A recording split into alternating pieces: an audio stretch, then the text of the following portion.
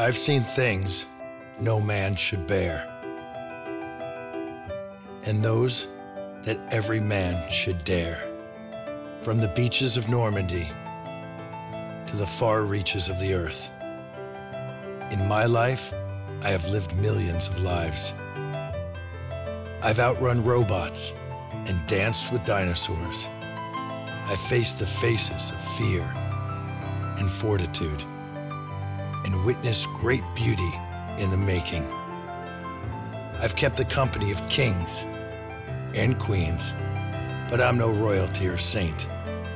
I've traveled, trekked, wandered, and roamed, only to find myself right where I belong.